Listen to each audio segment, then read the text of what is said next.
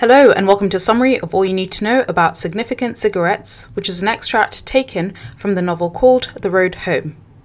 Now, I'll explain the meaning related to this text as it appears in the Pearson International GCSE Anthology, and I'll highlight literary and language devices as well as contextual factors that you should be aware of when studying this text. So let's get started. Now, before we begin reading the passage, it's important to examine some context. The passage is taken from a longer novel called The Road Home by Rose Tremain. Bear in mind that Rose Tremain herself is an English writer who was born in London. However, she was educated at the Sorbonne, which is a very prestigious French university, and she also went to East Anglia University in the UK. Now, this novel, and of course this extract, captures the journey of Lev, an immigrant travelling from Eastern Europe to London. He's unemployed and he needs to support his family. However, he does struggle with anxiety and the loneliness that's part of the difficult immigrant experience. So let's begin reading through this passage, and I'll stop every so often to point out important language techniques that Tremain uses in her writing. So let's begin. On the coach, Lev chose a seat near the back and he sat huddled against the window, staring out at the land he was leaving, at the fields of sunflowers scorched by the dry wind, at the pig farms, at the quarries and rivers, and at the wild garlic growing green at the edge of the road. Lev wore a leather jacket and jeans and a leather cap pulled low over his eyes, and his handsome face was grey toned from his smoking, and in his hands he clutched an old red cotton handkerchief and a dented pack of Russian cigarettes. He would soon be 43. After some miles, as the sun came up, Lev took out a cigarette and stuck it between his lips, and the woman sitting next to him, a plump, contained person with moles like splashes of mud on her face, said quickly, I'm sorry, but there's no smoking allowed on this bus.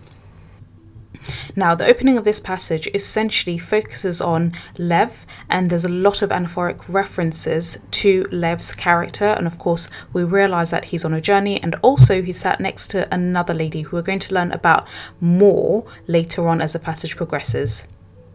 Now, do you remember when it comes to the title, as I've mentioned, this is an extract taken from the start of a longer novel, and of course, it captures the journey of Lev and the constant repetition of his name. This is anaphora, and this anaphoric references establishes him as the main character of this passage, and of course, it makes us really focus on him. Furthermore, the verb huddled creates a sense of entrapment, so it tells us as readers just how uncomfortable this journey must be. Also, the alliteration, the land he was leaving, emphasizes that Lev is immigrate, emigrating, which is different to immigrating. So, when you emigrate, you are leaving somewhere, and of course, you then become an immigrant to a new place. So Of course, he's leaving Eastern Europe. We don't know the specific country. However, he then immigrates to London. Now, the use of sibilance, which describes the sunflowers scorched, what the sibilance does is it emphasizes the beauty of the environment that he's leaving behind for London. And of course, it makes us realize that he's quite wistful and probably is feeling a little bit homesick already. Furthermore, the mention of wind, farms, rivers, this belongs to semantic field of nature, and so an idyllic landscape is really portrayed by Tremain here in terms of where he's leaving, and we realize just how sad he's going to feel not to be able to see this. Of course, London as a city is very much a concrete jungle, and of course, this is going to be a real transition for him. Moreover, the mention of garlic growing green. Now, the alliteration here shows the beauty of his country. Furthermore, the sentence Lev wore a leather jacket and jeans and a leather cap. Now, this is polysyndeton. Do you remember polysyndeton is when there's an use, an overuse of conjunctions and this and that. And what this does, the polysyndeton used here, emphasizes Lev's simple attire. Moreover, the adjective grey toned gives us hints of his working class background. So, whilst he's handsome, his skin shade has become a little bit grey from smoking so heavily. Also, the alliteration his hands he. This maintains our focus on Lev and it shows us how nervous he is. He's holding onto this cotton handkerchief, also these cigarettes, almost for comfort because he's feeling so afraid of leaving all he knows behind. Furthermore, the reference to cotton handkerchief and a dented pack of Russian cigarettes highlights Lev's few worldly possessions. So we're really starting to get hints of both his working class background, but also we realize that perhaps it's coming from poverty. Moreover, we learn after some miles as the sun came up and the asyndeton here, which is the opposite of polysyndeton, so asyndeton is when there's commas used minus the conjunctions, what this does is it starts showing us and lengthening the feel of this journey. Lev then takes out a cigarette, and the phrase here, took out a cigarette, shows that he's doing this for comfort. He's really, really anxious about this trip. Now, the lady he sits next to is described as a plump, contained person, and these pre-modifiers, these adjectives, show how much her appearance really contrasts Lev. And of course, we then learn about the contrast in backgrounds, in class, and so on as the passage progresses. The simile molds like splashes of mud show this lady is actually not conventionally beautiful. So whilst previously Lev is described as having a very handsome face, actually this lady is not portrayed as being conventionally beautiful. She's then really, really assertive when she tells him no smoking allowed on the bus, and this declarative sentence shows us that she's probably quite a forceful enforcer. And of course, later on, we learn that she is a teacher, so of course, this probably fits in with her personality. So let's continue. Lev knew this, had known it in advance, had tried to prepare himself mentally for the long agony of it. But even an unlit cigarette was a companion, something to hold on to, something that had promise in it, and all he could be bothered to do now was to nod just to show the woman that he'd heard what she'd said, reassure her that he wasn't going to cause trouble, because there they would have to sit for 50 hours or more, side by side with their separate aches and dreams like a married couple. They would hear each other's snores and sighs, smell the food and drink each had brought with them, note the degree to which each was fearful or unafraid, make short forays into conversation. And then later, when they arrived in London, they would probably separate with barely a word or a look, walk out into a rainy morning, each alone and beginning a new life and Lev thought how all of this was odd but necessary and already told him things about the world he was travelling to, a world in which he would break his back working, if only that work could be found. He would hold himself apart from other people, find corners and shadows in which to sit and smoke, demonstrate that he didn't need to belong, that his heart remained in his own country. There were two coach drivers. These men would take turns to drive and to sleep. There was an onboard lavatory, so the only stops the bus would make would be for gas. At gas stations, the passengers would be able to clamber off, walk a few paces, see wildflowers verge, soiled paper among bushes, sun or rain on the road. They might stretch up their arms, put on dark glasses against the onrush of nature's light, look for a clover leaf, smoke and stare at the cars rushing by. Then they would be herded back onto the coach, resume their old attitudes, arm themselves for the next hundred miles. So we'll pause there for now. And essentially, what this passage is now developing is a really vivid description of this really, really long journey by coach through likely Eastern Europe. So from the interior of Eastern Europe straight into London, non stop, only to stop for fuel. And we really get a very vivid description of just the journey, the difficulty that immigrants put themselves through just for opportunity. And of course, we learned that Lev himself is really hopeful for work, he's unemployed. Now, we this part of the passage begins by telling us Lev knew this, had known it in advance, and of course, this is in reference to the lady he's sitting next to who tells him off for holding the cigarette because she assumes that he's going to smoke it.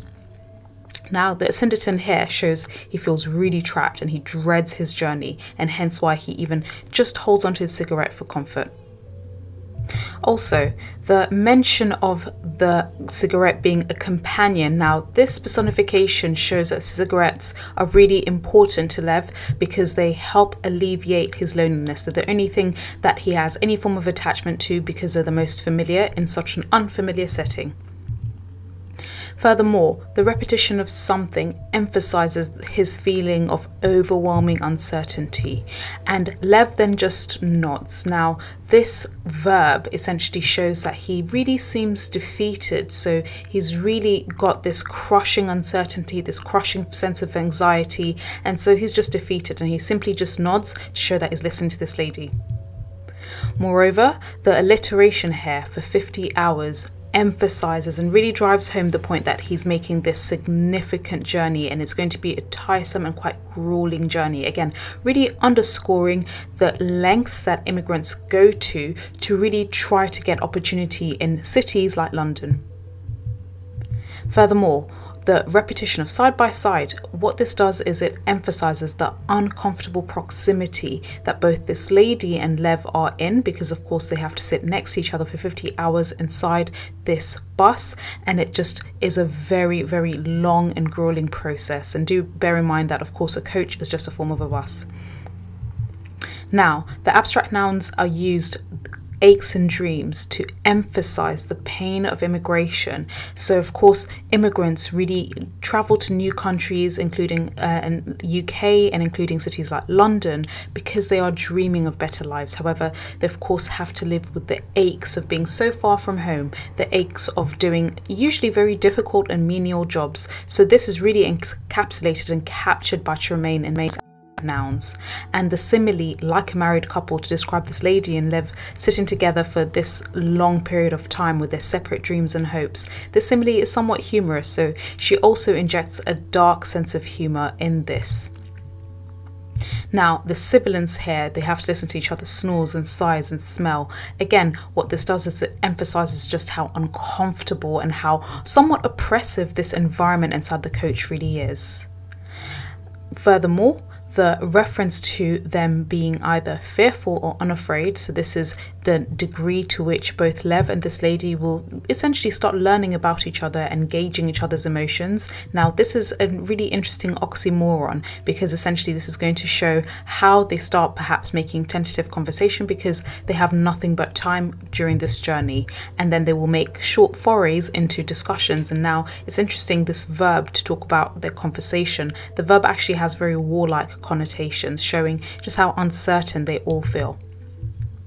Moreover, the adverb finally, which describes them finally arriving in London, emphasizes just how long the journey is, and the proper noun London, which refers to the city, shows that the destination is almost like the promised land after such a long journey. Furthermore, when Tremain uses the language separate with barely a word or a look, walk out into a rainy morning, each alone and beginning a new life. Now, the syndeton that's used here to show how after such a long journey, in a very intimate type of space, so of course the coach there's not really anywhere to go and you have to sit next to somebody for so long, you almost spend such an intense amount of period of time with them before suddenly their journey ends and you go out and you leave each other as if you're strangers. This emphasizes and again encapsulates the typical immigrant experience. It can be so isolating, so alienating, but equally to even go through this experience, sometimes you're also very uncomfortably close to other immigrants, but you're still all very isolated and alienated from each other. Moreover, the idea that this is all just very odd but necessary, this captures life as a migrant and it's really defined by just necessity. So migrants just have to accept the odd elements of being a migrant and being around each other, and it's really, really necessary the repetition of world so talking about the this already the people already told lev things about the world that he was traveling to a world which he would break his back working. Now the reference to the world shows that he's venturing into an alien culture that he's very unfamiliar with also, the hyperbole to describe that he's going to break his back working shows that as a migrant, he will likely engage in very menial labor, maybe working on construction sites, maybe even being undocumented, not even being paid enough, and he's going to do very difficult labor. Now we find that Lev wants to hold himself apart, so he almost wants to isolate himself and not get too comfortable in this new environment. He's decided that he's just going there for work, he's not looking for friends, he won't even look for any workmates, he's going to hold himself apart. And the mention of Lev finding corners and shadows. This is a really powerful symbol of how migrants live on the margins of society. And even today, in places like London, New York, migrants find corners and shadows. They emerge from there and they really live on the margins of society. Again, many of them are also undocumented. And so, this is a really, really powerful symbol that captures this. Now, the sibilants sit and smoke to describe what Lev would do, perhaps when he's on a rest break in the corners and the shadows, show the very few and uh, very meager luxuries that he can really enjoy. Furthermore, we find that he feels that he didn't need to belong. So, this is interesting that he has decided he won't necessarily wish to try to fit in too much when he gets to London. And this is perhaps an indirect reference to xenophobia. Xenophobia is the dislike for other people outside of your culture. So, there's a reference which underlies a lot of this passage that Lev will also have to probably come up against people who don't like him simply because he's an immigrant However, here we can see that he's trying to steel himself against that. He almost is trying to build up a wall and tell himself that he doesn't really need to belong, even if he has to work in London. Furthermore, the alliteration his heart, which emphasizes his heart remaining in his own country, again, this shows us that he's going to be very, very homesick. And of course, the reference to country shows that he really misses his home. Now, the simple sentence or two coach drivers tells us more about the journey. We learn, of course, that the journey is so long that the coach drivers, two coach drivers are needed. Again, this emphasizes the arduousness of the journey. And there's the onboard lavatory, which is basically the onboard toilet. And this is notable because what this is just doing is drawing our attention to just how few luxuries there are on this coach, on this bus. Furthermore, once they go and make every stop, the people on the bus clamber off. And what this verb emphasizes is the pained actions of people who are sitting still for 50 plus hours and how the joints become quite stiff. Now, every time they make a stop, they will see wildflowers on a verge, soil paper among bushes, sun or rain on the road. And the syndeton here shows that man and industry has really destroyed nature. So it's a really powerful imagery showing how industry, the man made world, can really have a massive impact on nature. Furthermore, the sibilance, people will smoke and stare, shows the robotic and lifeless actions of people who've sat for a long journey on the coach. Every time they emerge for each rest break, they just smoke and stare. They're quite robotic, quite lifeless. And then they're herded back. Now, this shows them and describes them almost like cattle, again, showing just how sometimes the immigrant experience can be quite dehumanizing. Furthermore, they will arm themselves for the next 100 miles. Again, the verb here is quite warlike to show this journey to get to London is almost like a fight. So let's carry on. For the stink of another industrial zone or the sudden gleam of a lake, for rain and sunset and the approach of darkness on silent marshes, there would be times when the journey would seem to have no end. Sleeping upright was not something Lev was practiced in. The old seemed to be able to do it, but 42 was not yet old. Lev's father, Stefan, sometimes used to sleep upright in summer on a hard wooden chair in his lunch break at the Baryn sawmill, with the hot sun falling onto the slices of sausage wrapped in paper on his knee and onto his flask of tea. Both Stefan and Lev could sleep lying down on a mound of hay or on the mossy carpet of a forest. Often, Lev had slept on a rag rug beside his daughter's bed when she was ill or afraid. And when his wife Marina was dying, he'd lain for five nights on an area of linoleum flooring no wider than his outstretched arms, between Marina's hospital bed and a curtain patterned with pink and purple daisies, and sleep had come and gone in a mystifying kind of way, painting strange pictures in Lev's brain that had never completely vanished. Towards evening, after two stops for gas, the mole flecked woman unwrapped a hard boiled egg.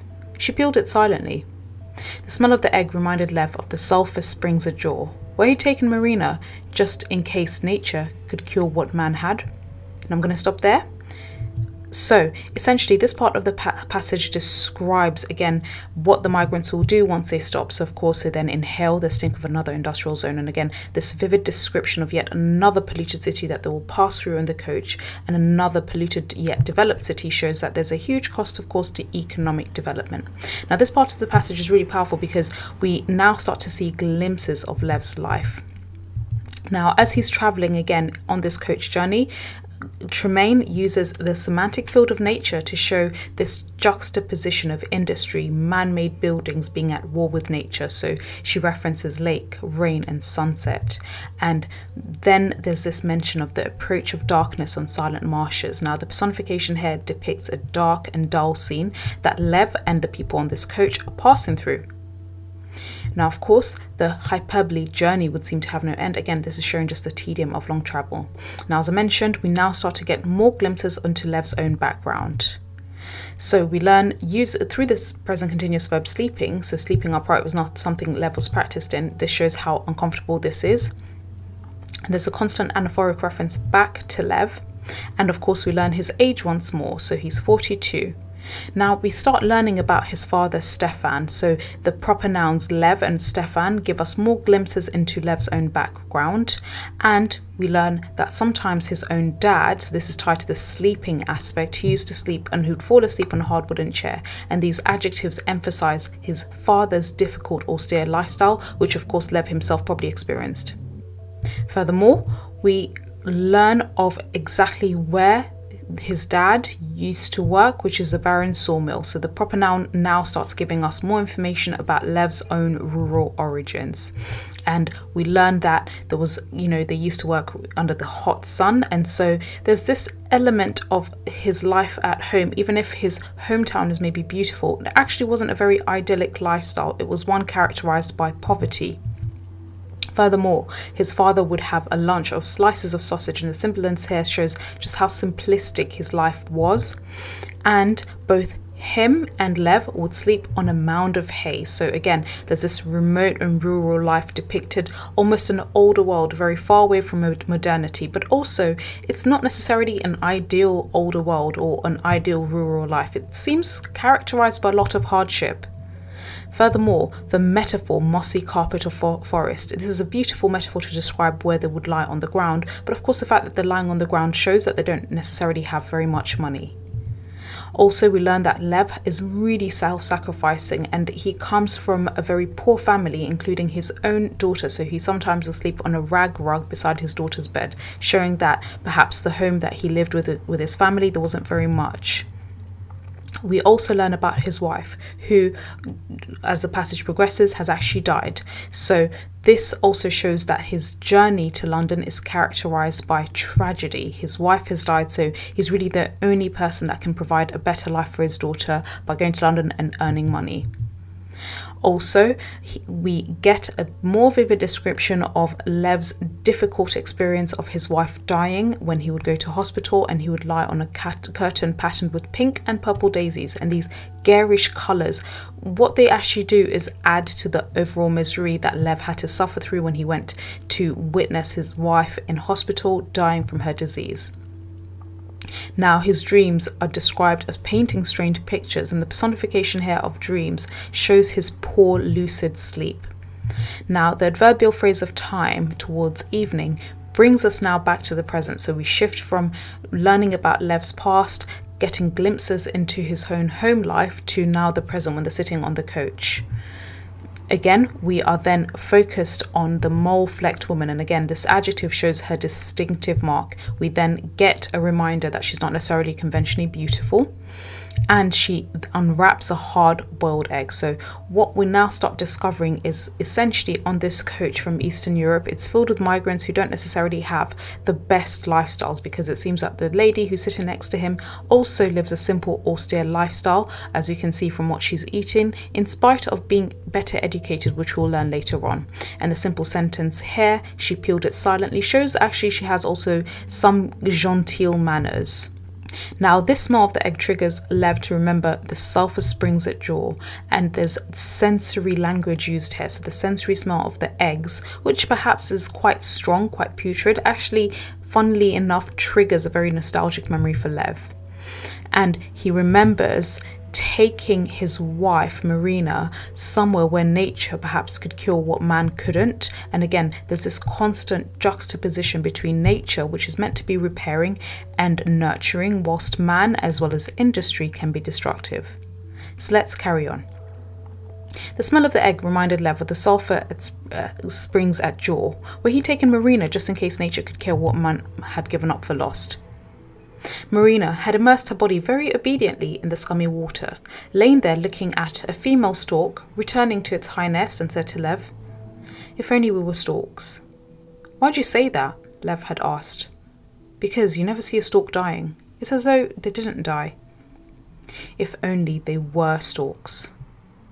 On the woman's knee, a clean cotton napkin was spread, and her white hand smoothed it, and she unwrapped rye bread and a twist of salt. My name's Lev, said Lev. My name's Lydia, said the woman.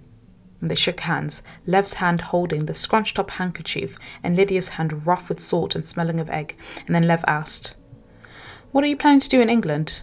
And Lydia said, I have some interviews in London for jobs as a translator. That sounds promising. Now, in this part of the passage, we learn, of course, of Marina's wishes, or perhaps what she was essentially saying. She, she, wishes she was a stork because she maybe wouldn't die. And then, of course, we then are brought to Lev and this woman who learns she's called Lydia. They open and they start having a conversation. Now, we learn a little bit more about Lev's wife here. So Marina, she Im- obediently immerses herself in the scummy water that Lev was hoping might cure her. And of course, the adverb obediently shows her submissive nature. And then Marina expresses some wishful thinking. She said, if only we were storks. And this wishful, innocent thinking is really sad, it's really poignant. Now, Lev thinks of this, of her dying words, if only we were storks. And the repetition here of what Marina has said shows this is a metaphor for Lev himself, who migrates on a huge journey in order to have more economic opportunities. Because do you remember that swans themselves migrate away from wintry places, they cross vast places to warmer climates for opportunities? Maybe Lev might be thinking about this memory from Marina because he maybe sees himself as a stork, and maybe Tremain is trying to use the stork as a metaphor for him. Furthermore, we then get more glimpses of Lydia herself, so the lady that's sitting next to Lev. So she has a clean cotton, and the alliteration here shows that actually she has quite middle class manners. Now, Lev introduces himself. He speaks quite simply, so the simple sentence, My name is Lev, shows he's quite curt and possibly somewhat distrusting. Lydia responds with a similar simple sentence, My name is Lydia. And of course, this shows that this is the start of a fairly tentative conversation. Now, Lydia tells him that she has interviews in London as, uh, for jobs as a translator. And what this shows, of course, is she's migrating for economic reasons, but also she's probably more highly skilled than Lev. So she doesn't necessarily have to go and do backbreaking work. She can get perhaps a more respectable office job. Now, Lev says that sounds promising, and his language is wrapped in the promise and hope of migration and a better life abroad. So, this is really language that migrants tend to use promising, hopeful dreams. Again, this is really steeped in the hope of migration. So, let's carry on. I hope so. I was a teacher of English at school 237 in Yarbl, so my language is very colloquial. Lev looked at Lydia. It wasn't difficult to imagine her standing in front of a class and writing words on a blackboard he said. I wonder why you're leaving our country when you had a good job at school 237 in Yarbl. Well, said Lydia, I became very tired of the view from our window. Every day, summer and winter, I looked out at the schoolyard and the high fence and the apartment block beyond, and I began to imagine I would die seeing these things, and I didn't want this. I expect you understand what I mean. Lev took off his leather cap and ran his fingers through his thick grey hair. He saw Lydia turn to him for a moment and look very seriously into his eyes. He said, Yes, I understand. Now, of course, the conversation develops, and we learn that Lydia also had a fairly good job back in the country that both she and Lev are from. Now, the reference to the common noun teacher shows that Lydia is somewhat establishing a distance and showing her social superiority. She is better educated than Lev. Furthermore, she mentions that her language, so her English is quite colloquial, in other words, it's informal. And again, she uses quite formal register to show how proud she is of her education. Again, she's establishing some kind of distance, showing Lev that she's probably way better educated than him. And the simple sentence Lev looked at Lydia shows he really scrutinizes her. Maybe he's still quite distrusting. Now, Lev asks why she left if she had what he calls a good job, and the adjective here shows his awareness that she's probably more economically prosperous than he is. Now, Lydia tells him that she got tired of the view from our window, so what this is showing is she felt really trapped in Yarbl, where they're from, and she then further clarifies by saying, Every day, summer and winter, I looked out the schoolyard, and what this shows is that her life was quite dull, repetitive, and predictable. Then she mentions in the high fence in the apartment block beyond, and I began to imagine I would die seeing these things. Now, the polysyndeton here shows that she felt her life was too repetitive, and probably she still wasn't getting paid enough of what she felt she was entitled to, and hence why she migrated. Now, she then asked, you understand what I mean? Again, this common shared knowledge of migrants, and Lev responds simply by saying, Yes, I understand. And again, this is showing the common shared migrant experiences. They don't necessarily have to talk about all their dreams, they both understand why they're migrating. So let's carry on. Then there was a silence while Lydia ate her hard boiled egg. She chewed very quietly. When she'd finished the egg, Lev said, My English isn't too bad. I took some classes in Bahrain, but my teacher told me my pronunciation wasn't very good. May I say some words and you can tell me if I'm pronouncing them correctly? Yes, of course, said Lydia. Lev said, Lovely. Sorry. I am legal. How much, please? Thank you. May you help me? May I help you? corrected Lydia. May I help you? repeated Lev. Go on, said Lydia. Stork, said Lev. Stork's nest. Rain. I am lost. I wish for an interpreter. B and B. B and B? said Lydia. No, no, you mean to be or not to be? No, said Lev. B and B, family hotel, quite cheap. Oh yes, I know, B and B.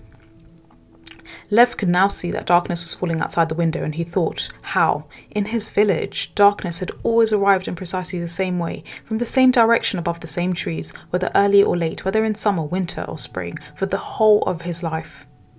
This darkness, particular to that place Auror, was now in Lev's heart how darkness would always fall.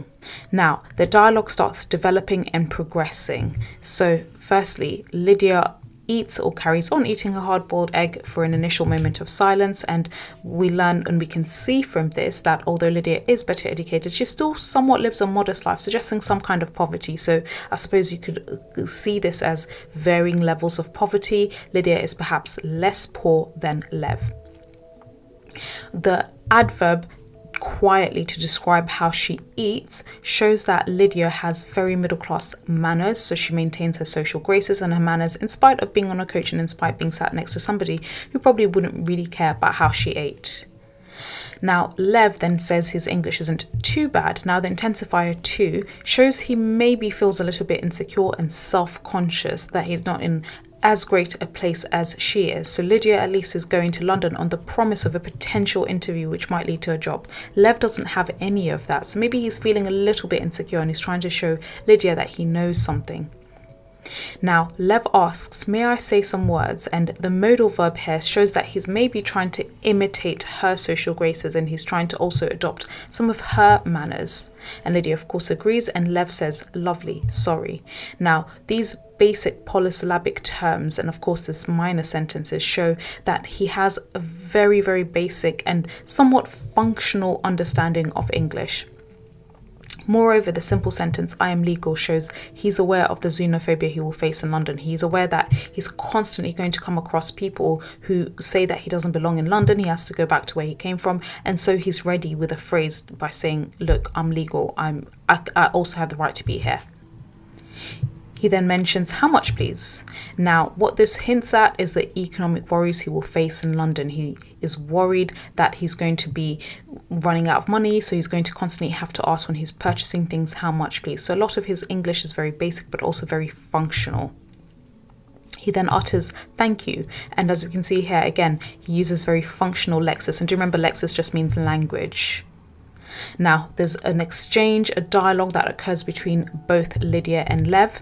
And what this dialogue shows is that they're building some kind of rapport. But do you remember earlier in this passage, they'll build up all this rapport over the 50 hours that they travel together. But then once they arrive, they'll literally walk off as if they were strangers. So again, this is part of the odd experience of migration. Now, Lydia does correct him when he says, May you help me? She says, May I help you? And this feedback shows that she's trying to teach him now, of course, Lev repeats this back, and this repetition makes us feel pathos for him. We feel that he's quite limited in his communication skills. He wants to improve, but we feel and we wonder whether he's going to be able to survive in London with such basic communication skills. Now, Lydia encourages him. She says, Go on. And this imperative sentence shows that she's trying to help him somewhat. Now, Lev repeats stork. Now, the repetition of stork, going back to the symbolism related to stork, shows he still thinks of his wife's musings. Now, the simple sentence, I am lost, this is a very functional declarative sentence. Again, he only knows the English that will get him from A to B, that will just clearly show people who are strangers what he needs.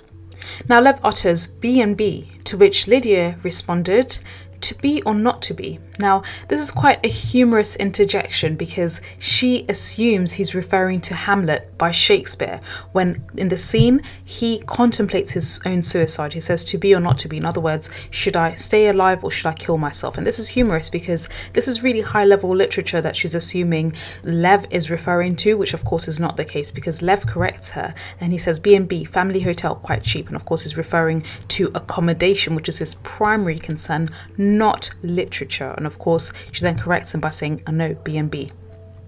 Now, Lev sees that darkness was falling outside, and of course, this, this pathetic fallacy to show just how dark it's getting, how sad he's getting, the further and further away he's getting away from his home. Moreover, there's a repetition of darkness which had always arrived in precisely the same way where he came from. Now, what this shows us is Lev comes from a world that's measured in lightness and darkness, not time. Again, this is showing just how remote the place that Lev comes from really is. Moreover, the repetition of same shows that whilst Lydia really hated the predictability of their lives back in their home country, Lev really cherished that predictability. The fact that darkness would come in the same way, the fact that he would do the same job every day. He loved this and he misses this, whilst Lydia actually really disliked the fact that her life was so predictable. Also, the reference to spring and the semantic field of seasons shows just how Lev really cherished that everything was the same year in, day in, day out, year in, year out, summer, winter, or spring, everything was the same, and he really misses home, and hence why his anxiety is particularly acute because all of this has been completely changed. Furthermore, the repetition of darkness shows that actually, interestingly, Lev found darkness and predictability quite comforting. Furthermore, the reference to the whole of his life, what this shows is that Lev had a fairly sheltered, simple life that was in many ways untouched by modernity, and he's going to really miss this. So let's carry on. And so he told Lydia that he'd come from Auror, had worked at the Baryn's sawmill until it closed two years ago, and since then he'd found no work at all, and his family, his mother, his five year old daughter, and he had lived off the money his mother made selling jewellery manufactured from tin. Oh, said Lydia. I think that's very resourceful to make jewellery from tin. Sure, said Lev. But it isn't enough. Tucked into his boot was a small flask of vodka. He extracted the flask and took a long swig. Lydia kept eating her rye bread. Lev wiped his mouth with the red handkerchief and saw his face reflected in the coach window. He looked away. Since the death of Marina, he didn't like to catch the sight of his own reflection because what he always saw in it was his own guilt at still being alive. Why did the sawmill Baryn close? asked Lydia. They ran out of trees, said Lev. Very bad, said Lydia. What other work can you do? Now, here, of course, we find that Lev is really, really homesick. We find also he actually ended up working at the same sawmill as his father, and then he became out of work because, of course, the only sawmill in the place that he lived in closed down, and he had to live off a very, very modest income that his mother made. And we learn as it's developing that Lydia, of course, is quite uh, kind in her responses to him. She's quite nice. However, we learn also that the reason the primary reason why Lev didn't have any job is because of deforestation. In other words, man and of course industry, so the Baryn Sawmill in this instance, still encroached on the land that Lev was living on and they ended up cutting all the trees and that's why the sawmill went out of business. Now, here the there's a reference to Lev's own home city, Auror, and of course we learn he worked the same job as his father until it closed two years ago. So he was content in his home city, but had to leave because of economic opportunities. Now the repetition of his, the repetition of this possessive pronoun refers to Lev's own family and the structure that he was accustomed to, which he's really sad to no longer have.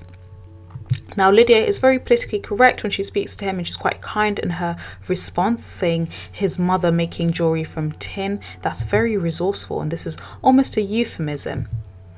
Moreover, Lev then is quite direct. So, in contrast to Lydia, who uses euphemisms to try and be polite, Lev essentially is quite open and honest in this simple sentence utterance. He's showing that he's aware his family faced harsh economic realities. It's very difficult to probably live off jewellery manufactured from tin that's sold in a very remote rural part of Eastern Europe.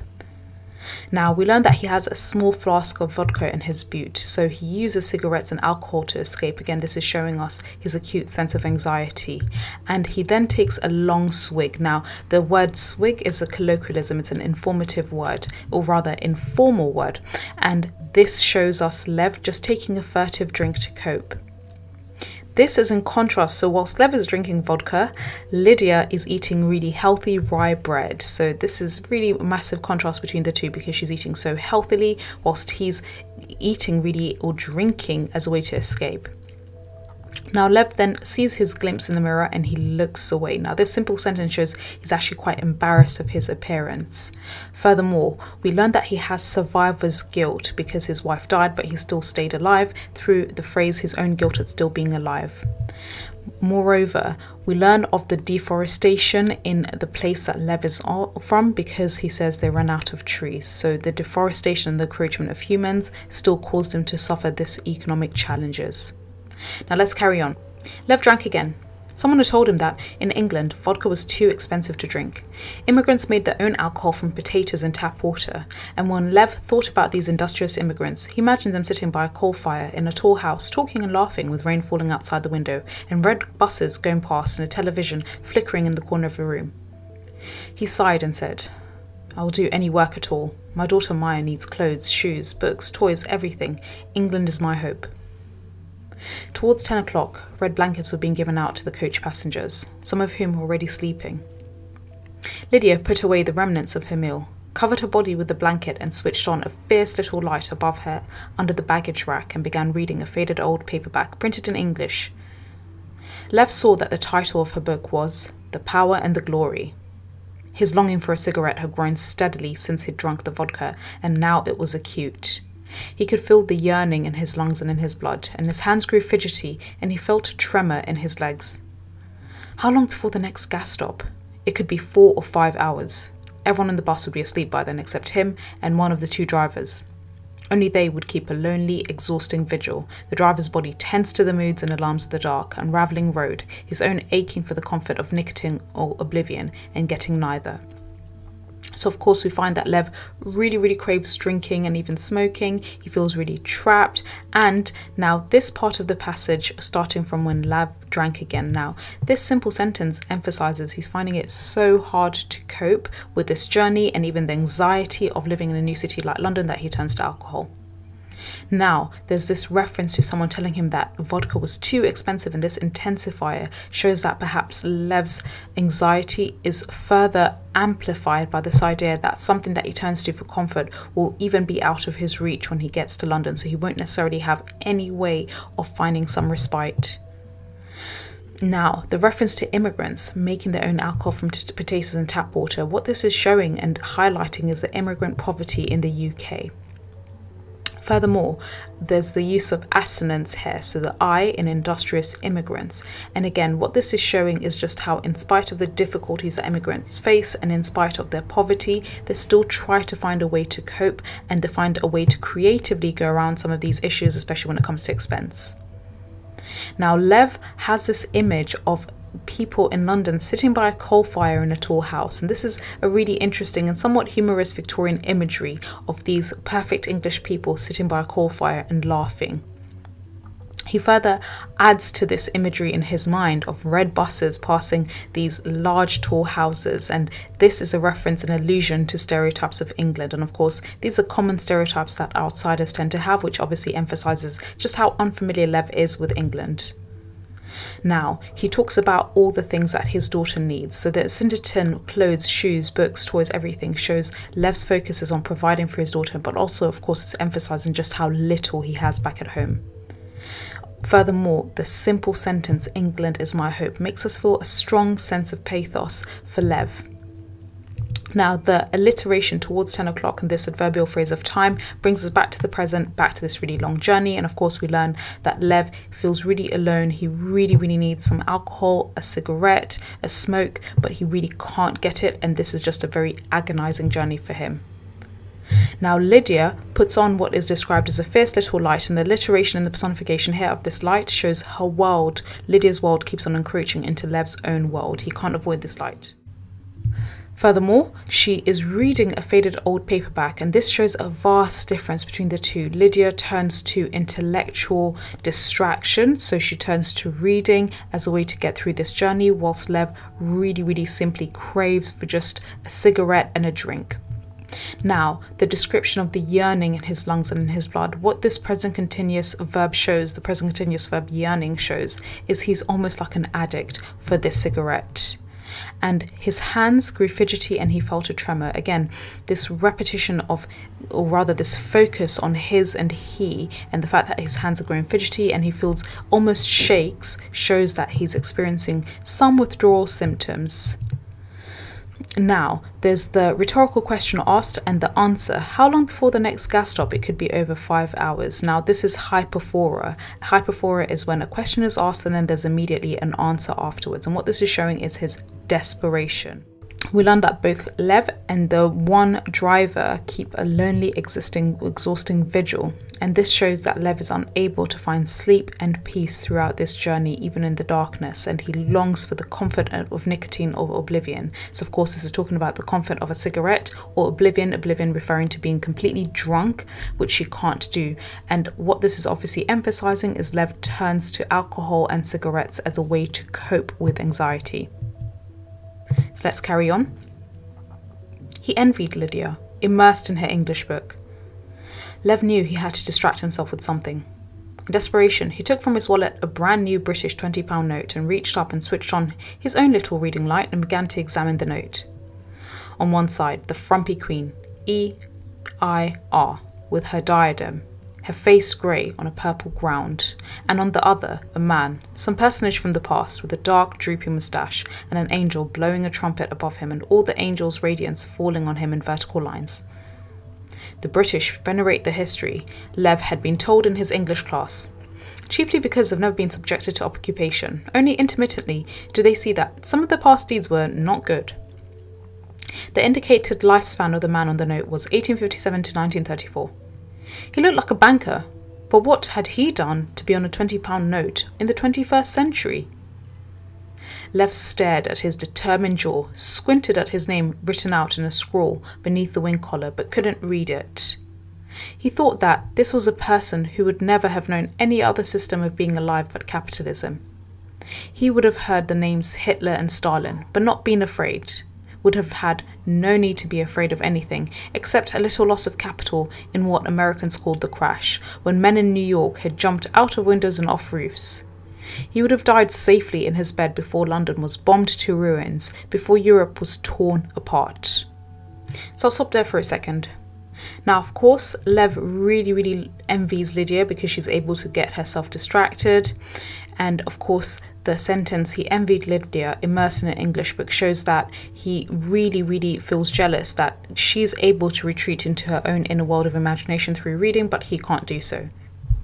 Moreover, the fact that in desperation he takes out this brand new British £20 note. Now, the adjectives focus on currency, and again, all he carried with him were functional things. Lev notices what he describes, or rather what Tremain describes as the frumpy queen. And of course, the description of the queen being frumpy, this is a colloquialism. Also, there's more description of how the queen looks with her diadem, which is basically a crown, her face grey on a purple ground. And this listing gives us more detail of how the £20 note looks like to Lev as he's examining it as a way of just distracting himself. He then sees a man, and this shows that he's clueless and unaware of the other person who's printed on this note. Now, we get more description of what Lev is seeing, and this, of course, mystifies him. So, the personage from the past with the dark drooping moustache and the alliteration dark drooping refers to this historical figure printed on this note.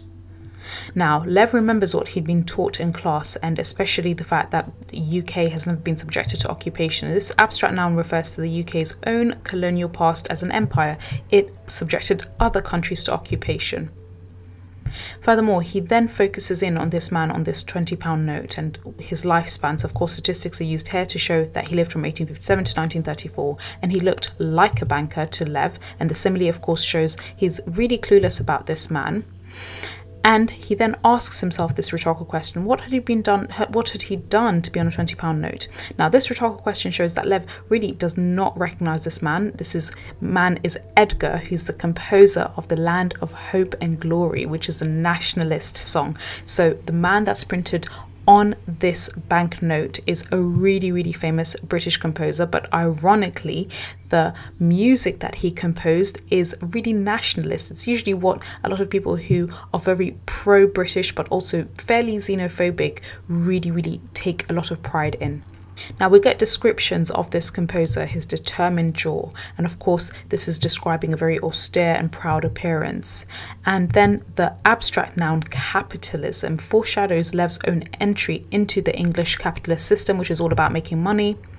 Then the reference to Hitler and Stalin. Now, these two proper nouns refer to leaders who many see as dictators. Now, of course, Hitler was the man that caused the Second World War to begin. Do you remember the Second World War occurred between 1939 to 1945? And Stalin, he's one of the main causes of the Cold War that happened after 1945, and effectively the Cold War ended in 1990 with the fall of the Berlin Wall. So this is really interesting in terms of how uh, Lev is remembering all these elements of capitalism, of course, socialism and communism in the USSR's part, and he's really reflecting on these things that he's learnt, but doesn't really necessarily make a connection, doesn't quite understand why it's important, how this is all linked. Moreover, the reference to a little loss of capital. Now, Lev is imagining this man that he sees on the 20 pound note is so capitalist and he's really, really brutally capitalistic. He's only focused on preserving capital. Furthermore, other historic events such as what the Americans have called the crash, this is a reference to the 1929 Wall Street crash in America. Again, Lev has a very basic understanding of these different historical events, but not, entirely why they were caused or how they're all connected. So let's carry on. Right to the end of his days, the angel's radiance had probably shone on this man's brow and on his fusty clothes because it was known across the world the English were lucky. Well, thought Lev, I'm going to their country and I'm going to make them share it with me. Their infernal luck. I've left Auror, and that leaving of my home was hard and bitter, but my time is coming.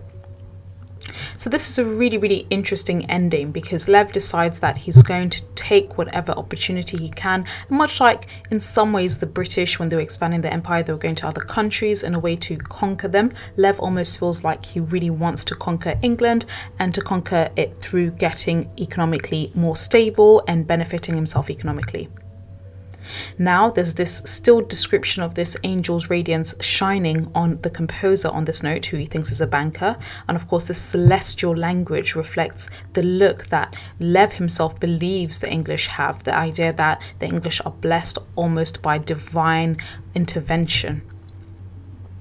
Moreover, he thinks that the English were lucky, and of course, do you remember that the UK is an island which had very few invasions, so therefore it didn't have any occupation and it had an empire, which is, of course, in contrast to Eastern Europe, which has suffered vast parts of it occupation and so on. So, in Lev's mind, he's thinking that the English were lucky historically. However, this declarative sentence, I'm going to the country now and I'm going to make them share it with me.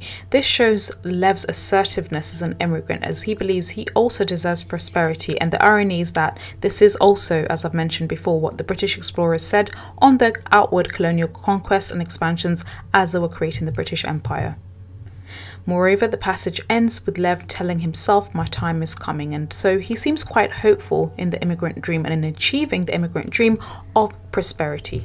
So that's all. If you found this video useful, we do have a course covering the IGCSE anthology text as well as model answers for past papers, so make sure you head over to our course and sign up for it.